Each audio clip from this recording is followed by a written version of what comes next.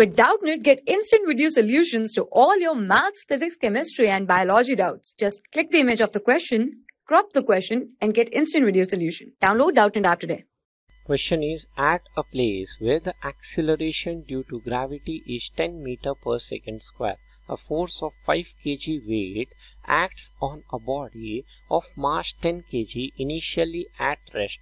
The velocity of the body after 4 seconds is so here it says suppose now the body is at let's say initially at rest.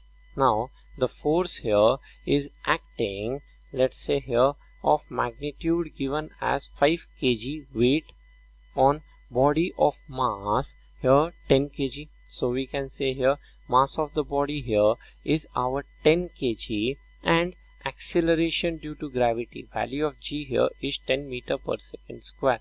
Initially the body here is at rest. Now after 4 seconds we need to find its velocity. So here we can say when this force acts suppose in horizontal direction in this direction so the body will be accelerated along this direction here and this force here is given to be our 5 kg weight. So 5 kg weight means mg value here we can say is given to be our 10 so the force here is of magnitude 50 newton. Now we need to find the final velocity. So we can say here acceleration of this body will be equal to force upon mass. Now we can say here force is 50 mass here is our 10 so acceleration coming out here as 5 meter per second square. Now initially the body is at rest. After 4 seconds we need to find its speed. Hence we have the equation as v equal to u plus at.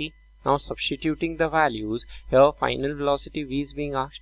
U is 0 acceleration is 5 and time here is 4 so 5 into 4 becomes 20 meter per second. Hence we have 20 meter per second as the final speed that is option number 2 is the correct answer so we have 2 as our answer For class 6 to 12, IIT JEE and NEET level.